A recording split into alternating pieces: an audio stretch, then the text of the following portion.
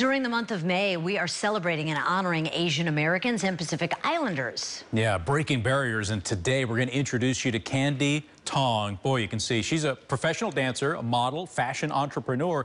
She's living her dream in New York City. She is an advocate for Asian Americans in the arts, and 4's Gayle Ong has more.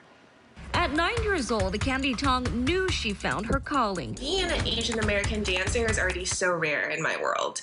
Um, I remember growing up at Sarasota Ballet, I only got to look up into two Asian American dancers. Tong says she was one of three to four Asian American students in her class at the San Francisco Ballet, but never saw herself as being a minority, but felt different after landing the role of Clara in The Nutcracker. It's not known to have an Asian Clara, black Clara. So for me to have had that role at such a young age was, I knew it was something very special and something I had to bring along with me in the future. That future leading Tong to train at Pacific Northwest Ballet in Seattle, Washington, and English National Ballet in the United Kingdom. But she faced challenges while auditioning for professional dance companies all around Europe. One, I was too tall. I'm 5'10 without pointe shoes or heels. Uh, secondly, my American visa.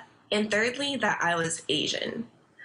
And so hearing those three things, especially about my race, was difficult and also just incredibly frustrating. Tong says those three repeaters often came up in post audition feedback. The San Mateo County native advocates for diversity in the renowned dance world, an industry she says Asians are underrepresented. And it's 2021, and I want people to push their limits and be who they are, be unapologetically you, be unapologetically Asian, and just go about life how you were born to be. Unapologetically Asian is a movement Tong started in 2019 before the pandemic and heightened reports of attacks on the Asian community. Tong credits the support of her parents who encouraged her to pursue her passion in dance.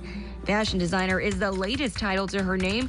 Her dancewear line launched right before parts of the country issued stay at home orders. Tong is living in New York City under contract with Complexions Contemporary Ballet, a place that allows her to travel the world showing passion for the arts and music. I want to be a mentor for young Asian American dancers.